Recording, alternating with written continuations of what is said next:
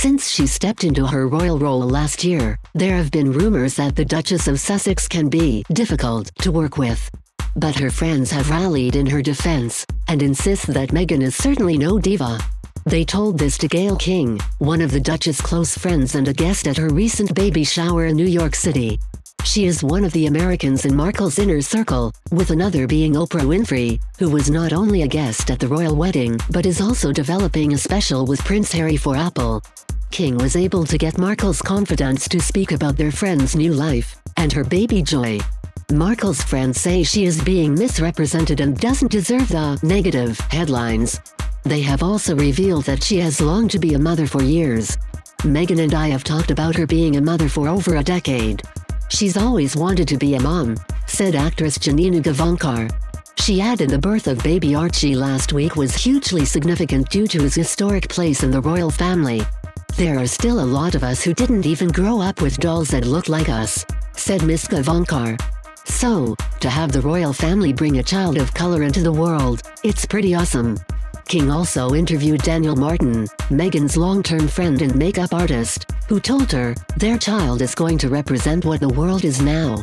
It's the dawn of a new generation. He added that Prince Harry is so good with kids and said of the Sussexes, I feel like this is their time to really share who they are and what they stand for.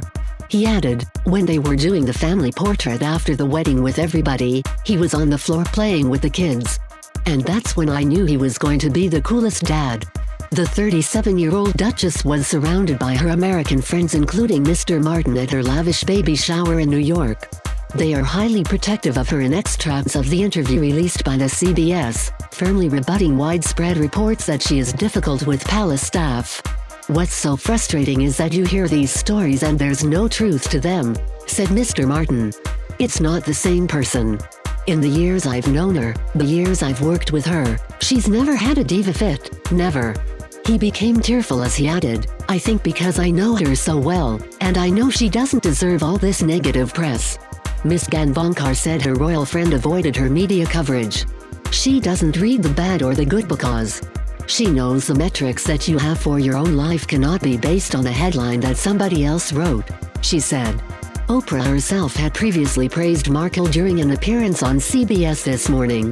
The Queen of Daytime TV said that the American princess is not only everything that we perceive of her as being, graceful and dynamic in holding that position, but she just has a wonderful, warm, giving, loving heart.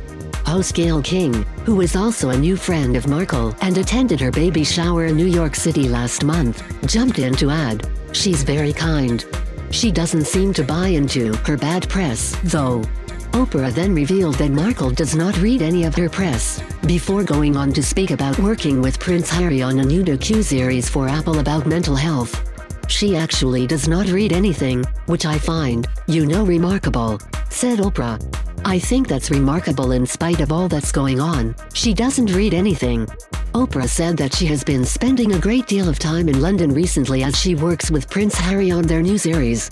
Speaking about how it came together, she said, I asked the question, what do you think are the most important issues facing the world right now? And he said there are two. He said climate change and mental wellness, mental fitness and mental health. As you know, he's spoken about his own issues and what he went through after his mother died and how being able to talk about it has benefited him, Oprah said. So it's a passion of his and, at the end of the conversation, I said, oh, I'm going to be doing this thing with Apple. It's a big concern of mine too and I want to try to erase the stigma. And he said at the end of the conversation, if there's anything I can do to help. That is when Oprah said she pitched the idea of Harry coming on to help build the series, and the TV titan said he has been incredibly involved in the project ever since. He's co-creating and executive producing, she said. We've had several meetings, secret meetings in London. I've flown there with the crew, sitting in sessions, talking about the directions we're going to take. Our hope is it will have an impact on reducing the stigma and allow people to know that they're not alone and allowing people to speak up for it and identify with it.